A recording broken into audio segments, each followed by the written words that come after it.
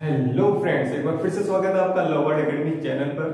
तो दोस्तों, पिछली वीडियो में हमने बात करी थी गति के पहले समीकरण के बारे में। आज हम इस वीडियो में बात करेंगे गति के दूसरे समीकरण के बारे में, ठीक है? तो दूसरे समीकरण को सॉल्व करने से पहले अगर आपने पहला समीकरण नहीं देखा है तो आपको दूसरा समीकरण भी समझ में नहीं आएगा दोस्तों। तो जिस किसी फ्रेंड ने पहला समीकरण नहीं देखा है, ये गति से संबंधित जो वीडियो है पिछली, वो नहीं देखी है तो डिस्क्रिप्शन में उनका लिंक दिया हुआ है, वहाँ से आप वो वीडियो देख सकते हैं। साथ ही अगर आप चैनल पर नए हैं तो चैनल को सब्सक्राइब कीजिए। साथ ही बेल आइकन को प्रेस करना ना भूलिएगा दोस्तों, ठीक है? तो आइए बढ़ते हैं गति के दूसरे समीकरण ठीक है? तो गति के दूसरे समीकरण को सॉल्व करने से पहले हम देखते हैं गति का पहला समीकरण क्या है। तो गति का पहला समीकरण है v बराबर u प्लस एटी यह है आपका गति का पहला समीकरण, जिसको हम पिछली वीडियो में सॉल्व कर चुके हैं।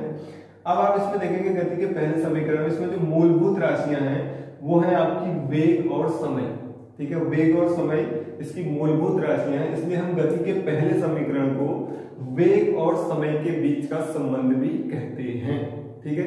अगर आपसे पूछता है कि गति के किस समीकरण में वेग और समय के बीच का संबंध दिखाया गया है तो गति के पहले समीकरण में वेग और समय के बीच का संबंध दर्शाया गया है, ठीक है? अब आप बात करते हैं हम गति के दूसरे समीकरण की, ठीक है? अब पहले समीकरण में ये देखेंगे कि यहाँ पे वेग है, त्वरण है, समय है, लेकिन यहाँ पे दूरी नहीं है, ठीक है? तो अब हम क्या करेंगे? दूसरे समीकरण में उस दूरी को लेके आए, ठीक है? दूरी को लेके आने के लिए हमें जो ये ग्राफ बनाया है, इस ग्राफ का क्षेत्रफल निकालना पड़ेगा। तभी हमारे पास क्या आएगी? दूरी आएगी, ठीक है? तो ग्राफ में दो चीज़ें यहाँ पे दे रखी हैं। एक तो यहाँ पे दो चीज़ें बन रही है। एक तो आयत बन रहा है, एक तो क्या बन रहा है दोस्तों? त्रिभुज बन रहा है, ठीक है? तो अगर हम इस ग्राफ का पूरे का क्षेत्रफल निकालेंगे तो हमारे पास दूरी निकल के आएगी ठीक है? तो हमें त्रिभुज का भी क्षेत्रफल निकालना है, आयत का भी क्षेत्रफल निकालना है, तब हमारे पास क्या आ जाएगी? दूरी आ जाएगी, ठीक है? तो हम क्षेत्रफल क्यों निकाल रहे हैं? ये आपके दिमाग में सवाल आ रहा होगा। तो देखिए, एक एग्ज़ाम्पल लेते हैं हम इसका। मान लीजिए कोई एक ग्राफ है।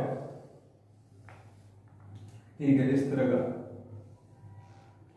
ठीक है, इस अक्ष पर हमें पता है कि हम यहाँ पे टाइम रखते हैं और यहाँ पे क्या रखते हैं? वेग रखते हैं।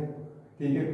और एक आयत है तो हमें इस आयत का क्षेत्रफल निकालना है, ठीक है? तो आयत का क्षेत्रफल, जैसे आपको पता है क्या होता है, आयत का क्षेत्रफल। तो आयत आयत का क्षेत्रफल होता है दोस्तों, लंबाई गुणा चौड़ाई, ठीक है? लंबाई गुणा चौड़ाई। अब हम क्या कर रहे हैं, इस आयत के क्षेत्रफल लंबाई और चौड़ाई की गुणा नहीं कर रहे हैं, हम इनके मात्रक की गुणा कर रहे हैं, ठीक है? लंबाई, चौड़ाई की गुणा ना करके हम इनके मात्रक की गुणा करेंगे। ठीक है? अब मात्रक की गुणा कैसे करेंगे टाइम का जो मात्रक होता है, वो होता है आपका दोस्तों सेकंड और जो वेग है, उसका मात्रक होता है आपका मीटर प्रति सेकंड अब हम इस आयत की चाहे ये वाली भुजा ले लें या हम ये वाली भुजा लें ठीक है? तो दोनों बात एक ही है, चाहे हम इन भुजाओं को ले लें, तब भी बात एक ही है, चाहे हम इनको ले लें, तब भी बात एक ही है। मान लो हम ये वाली भुजा लेते हैं, ये क्या होगी लंबाई होगी तो लंबाई का जो मात्रक वो क्या है? मीटर प्रति सेकंड। और जो चौड़ाई है, उसका जो मात्रक है वो आपका सेकंड। ठीक है? तो सेकंड से सेकंड कट गया, हमारे पास क्या बचा? मीटर बचा। ठीक है? मीटर बचा यानी कि हमारे पास क्या आ गई? दूरी आ गई। क्योंकि दूरी को हम किससे नापेंगे? मीटर में ही नापेंगे या किलोमीटर में नापेंगे? अब ऐसा तो नहीं कि दूरी को किलोग्राम में नापते। ठीक है? तो इसलिए हम क्या कर रहे हैं? इसका क्षेत्रफल निकाल रहे हैं दोस्तों। ठीक है? तो आपको समझ में आ गया होगा कि हम क्यों इस ग्राफ का क्षेत्रफल निकाल रहे हैं। ठीक है? तो ग्राफ में दो चीज़ें हैं दोस्तों, त्रिभुज और आयत। ठीक है? तो मैंने लिख दिया है यहाँ पे, ग्राफ का क्षेत्रफल बराबर आयत। जो आयत है वो कौन सा है? ओ ए डी ई यानी कि जो ब्लैक डॉट करें वो आयत है। और जो रेड डॉट हैं, वो है क्या त्रिभुज। त्रिभुज कौन सा हो गया? ए सी डी ठीक है, ये त्रिभुज है। तो हमने लिख दिया आयत ओ ए डी का क्षेत्रफल प्लस त्रिभुज ए सी डी का क्षेत्रफल। अब हमें पता है ग्राफ का क्षेत्रफल, यानी कि हम इसको क्या लिख सकते हैं? दूरी, जो भी हमने समझा था। दूरी दूरी को पता है किससे डिनोट करते हैं? एस से करते हैं। तो दूरी बराबर आयत ओ ए डी का क्षेत्रफल। आयत कौन सा है? ओ ए डी आयत का क्षेत्रफल होता है लंबाई गुणा चौड़ाई तो लंबाई हम ये ले लेते हैं, ये लेते हैं ओ ए इंटू चौड़ाई हम ये ले लेते हैं, ओ ई ओ ई प्लस त्रिभुज का क्षेत्रफल, त्रिभुज ये देखिए ए सी डी ये है त्रिभुज, ठीक है? तो त्रिभुज का क्षेत्र यानी ये संभव त्रिभुज है तो इसको हम क्या लिखेंगे? एक बट्टा दो आधार गुणा ऊंचाई तो आधार क्या हो गया यहाँ पे? ए डी आधार हो गया, और इसकी ऊंचाई यही होगी तो डी सी इसकी क्या हो जाएगी? ऊंचाई हो जाएगी ठीक हो गया। क्यों हमने एक बट्टा दो आधार गुणा ये ऊंचाई लिया है तो हम उसको भी लिख देते हैं, क्योंकि ये क्या है, एक समबाहु त्रिभुज। समबाहु त्रिभुज। ठीक है, इसलिए हमने क्या लिया है, एक बट्टे दो आधार गुणा ऊंचाई लिया। अब देखिए जो ओ ए है ओ ए है, इसको मैं यू लिख सकता हूँ, क्योंकि ओ ए ये कितना है, ये यू के बराबर पर है। तो ओ ए को मैं क्या लिख दूँ? एस बराबर ओ ए को मैं यहाँ पे यू ले ले रहा हूँ। इनटू जो ओ ई है ओ और ई ये क्या है हमारा? इतना सा, इतना ही क्या है? टी लिख सकता हूँ मैं इसको?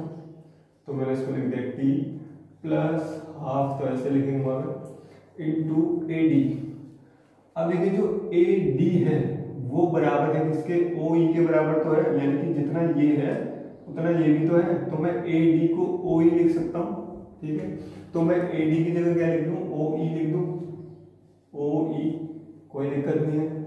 इंटू डी सी अब देखिए जो डी और सी है, जो डी सी है, वो किसके बराबर है? आपका ए और बी के बराबर है। तो मैं डी सी को ए भी लिख सकता हूँ। ठीक है? तो डी सी जो है, मैं उसको लिख दे रहा हूँ। ए बी मैंने ऐसा क्यों करा? ये भी बताना पड़ेगा। मैंने इसलिए ऐसा इसलिए करा क्योंकि ए डी बराबर है किसके? ओ ई के। और जो डी सी बराबर है आपका ए बी के। ठीक है? तभी मैंने ऐसा करा। इनको बताना भी पड़ेगा। ठीक है? अब आगे बढ़ते हैं। ये तो ऐसे रहेगा एस बराबर U into T plus half into O E अब ओ ई को मैं टी लिख सकता हूँ? तो मैंने लिख दिया T into A B A B आप देखिए दोस्तों। अब ए बी निकालने के लिए मैं क्या करूँगा? मैं ओ बी में से अगर ओ ए घटा दूँ तो मेरे पास क्या आ जाएगा? ए बी आ जाएगा। यानी कि मैं इस पूरे में से इतना माइनस करूँगा तो मेरे पास ये तो आ जाएगा। तो मैं क्या करूँगा? ओ बी में से ओ ए माइनस कर देता हूँ। ठीक है? तो मैं कर देता हूँ दोस्तों ओ बी माइनस ओ ए ठीक है?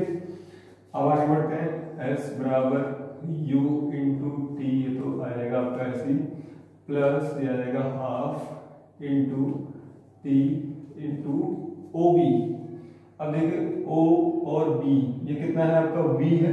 ये तो यानी कि यहाँ से लेके यहाँ तक कितना है? ये वी है। तो मैं इसको वी लिख सकता हूँ। तो मैंने लिख दिया वी माइनस ओ ए ओ ए ओ ए यहाँ से यहाँ तक कितना है आपका? यू है। तो मैं इसको यू लिख सकता हूँ। ठीक हो गया? इतना समझ में आ गया? तो हमारे पास ये आ गया u into T plus half v minus U और यहाँ आ गया टी ठीक है? अब देखिए दोस्तों, गति का पहला समीकरण जो है v माइनस यू यहाँ पे लिखा हुआ है तो v माइनस यू किसके बराबर है? एटी के बराबर है। तो मैं v माइनस यू की जगह एटी लिख सकता हूँ, ठीक है? कोई प्रॉब्लम नहीं है। तो मैंने लिख दिया s बराबर u into t plus half अब v माइनस यू की जगह मैं क्या लिख दूँ यहाँ पे? 80 लिख सकता हूँ। तो मैंने यहाँ पे लिख दिया 80 इंटू टी ठीक हो गया? अब देखिए आ गया आपका गति का दूसरा समीकरण। S बराबर U T plus half A T मतलब टी और टी गुणा हो जाएगा तो क्या हो जाएगा? स्क्वायर हो जाएगा। एटी स्क्वायर ठीक है? तो ये आ गया आपका गति का दूसरा समीकरण। S बराबर U T plus half A T square यह दोस्तों गति का दूसरा समीकरण। ठीक है? बहुत ही सिंपल है, ज़्यादा फोकस करने की ज़रूरत है, बस आपके दिमाग में बैठ जाएगा, ठीक है? तो अगली वीडियो में हम बात करेंगे गति के तीसरे समीकरण के बारे में। उससे पहले आपको बता दूँगा आपको वीडियो अच्छा लग रहा है तो आप वीडियो को लाइक कीजिए, साथ ही इसको शेयर करिए अपने दोस्तों के साथ। और चैनल पर आप पहली बार विज़िट कर रहे हैं तो चैनल को ज़रूर सब्सक्राइब कीजिएगा, साथ ही उसके साथ आपको एक बेल आइकन दिखेगी। तो बेल आइकन को भी ज़रूर प्रेस करिएगा दोस्तों। क्योंकि जो अगली वीडियो है, उसका पता आपको सबसे पहले चल सकेगा, इसलिए बेल आइकन को प्रेस करते हैं ठीक है? धन्यवाद।